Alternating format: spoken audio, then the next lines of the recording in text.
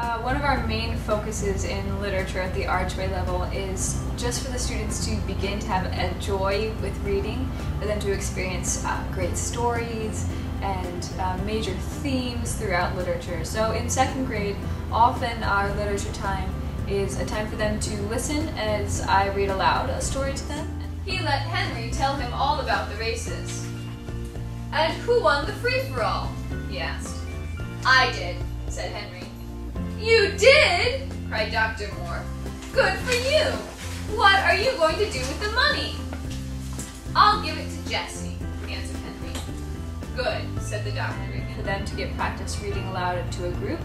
And after that, we do some comprehension questions. Good morning, Henry, said Miss Moore. Can you work today? Oh, yes, said Henry. These are my sisters, Jessie and Violet. Jason picked their too. Brandy is too young to climb. These events happened in the beginning.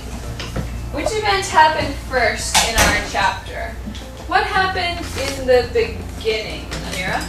Um, the children pictures. Put a thumb up on your desk if you agree. That that happened in the beginning of our chapter. Our chapter began with the children in the cherry orchard. So that was in the beginning. The children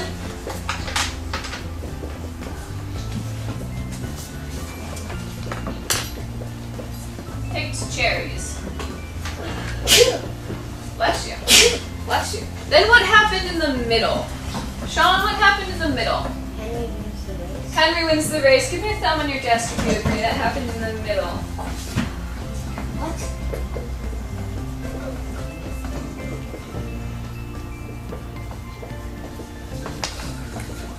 And then what happened at the end of our chapter? What happened at the end of the chapter, Ben? Henry learns to read. Benny learns to read. That was the last thing.